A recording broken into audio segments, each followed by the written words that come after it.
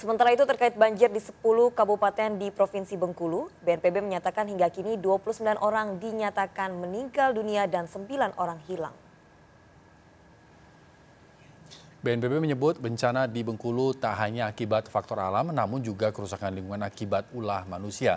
Dari pantauan satelit BNPB, di Provinsi Bengkulu terdapat delapan lahan tambang sangat luas yang membentang dan dapat merusak sistem ekologi.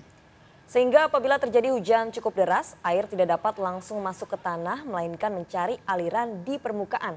Hal inilah yang mengakibatkan terjadinya penyumbatan hingga memicu banjir dan tanah longsor. Hingga saat ini sudah ada 29 orang dinyatakan meninggal dunia, 9 orang hilang, dan 12 ribu warga mengungsi. Lebih dari 200 ternak mati. Banjir juga memutus 9 jembatan dan merusak 40 fasilitas vital.